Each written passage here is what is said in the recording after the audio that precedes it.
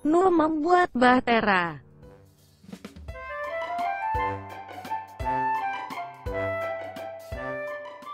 Zaman dahulu, banyak manusia membuat jahat dan Tuhan ingin menghapuskan manusia di bumi.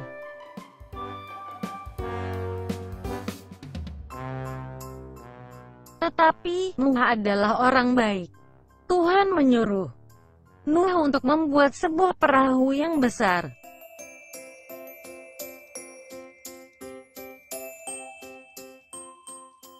Bapak Nuh mempunyai tiga orang anak, yaitu Sem, Ham, dan Yafet.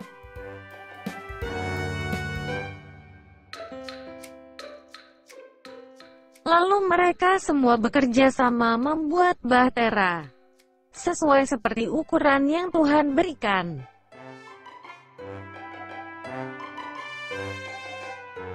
Setelah bahtera selesai dibangun, masuklah Nuh dan istrinya, tiga anak dan tiga istri anaknya.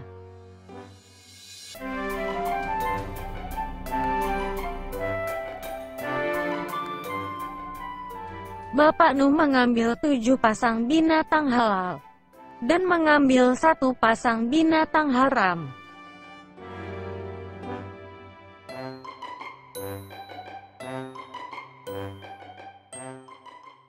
Kemudian datanglah air bah dan hujan lebat.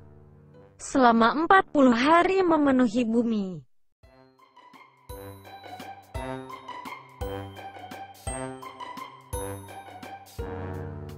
Bapak Nuh dan keluarganya memelihara semua binatang yang ada di dalam batera.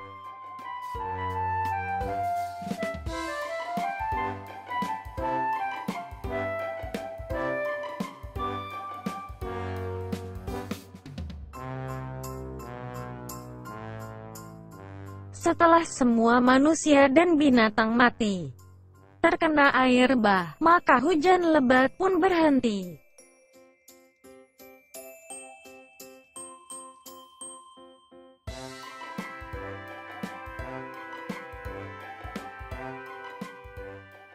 Bahtera itu berhenti di pegunungan Ararat, dan air bah menjadi semakin surut.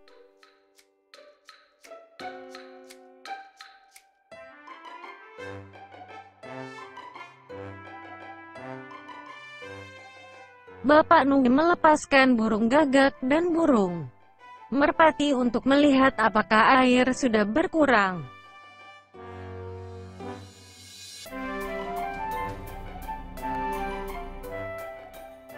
Setelah semua tanah di bumi menjadi kering, Bapak Nuh dan keluarganya keluar dari Bahtera.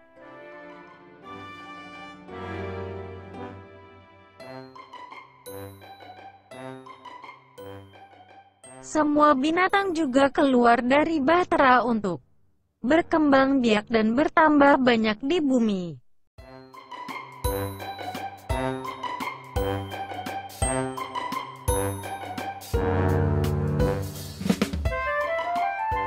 Tuhan memberikan pelangi sebagai tanda bahwa Tuhan tidak akan menghapuskan manusia lagi.